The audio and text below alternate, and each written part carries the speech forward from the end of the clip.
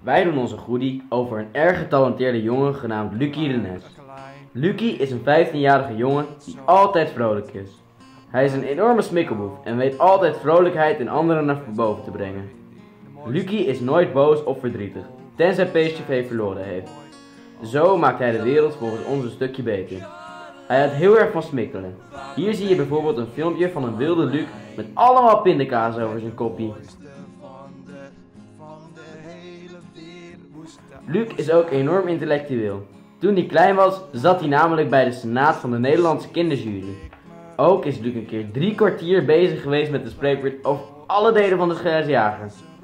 Hij was nog niet klaar, maar de stomme juf kon zijn intellect aan en brak zijn verhaal af. Luc is ook een enorm voetbaltalentje. Hij is zo goed dat er zelfs voetbalplaatjes van hem zijn gemaakt. Wij vinden Luc bijna net zo gul als de enige echte Sinterklaas. Stiekem denken wij dan ook dat hij echt Sinterklaas is.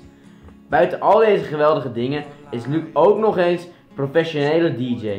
aan jou vindt, is dat jouw hoofd perfect symmetrisch. Volgens ons zou de wereld enorm verbeteren als iedereen een klein beetje meer als Luc zou zijn.